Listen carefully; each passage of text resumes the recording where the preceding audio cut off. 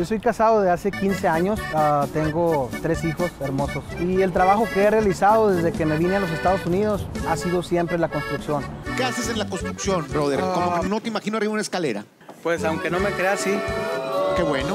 Después de 8, 10 horas de, de- de trabajo, siempre llego a la casa y todavía me doy el tiempo de ayudarle a mi esposa. Y pues es ahí donde aprovecho para cantar cuando estoy lavando trastes. Y, y en el baño es donde, ahí es donde yo tengo mi concierto en grande, privado. Tu esposa te dijo, ve porque cantas bonito o ve por la lana. La neta, no nos sentimos. O ve ya para que te desengañen. También. No, no, me dijo, ve, ve porque cantas bonito. Bueno, pero yo digo mínimo, el pase de Ana Bárbara sí me lo voy a traer. Y el oso pues no me preocupa porque pues no creo que pueda cargarme. por una mujer bonita. Me estoy muriendo de celos.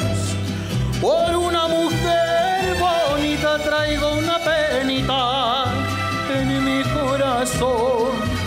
Yo sé que mucho me quiere. Yo sé que mucho la quiero. Pero eso a mí no me quita que ande una penita en mi corazón. Tengo celos de todos los que a ti te miran pasar caminando. Si se te quedan mirando, es cuando sufro por ti. Y es que tú estás tan bonita, bonita, bonita, como ya no hay nadie. Por eso no soy culpable,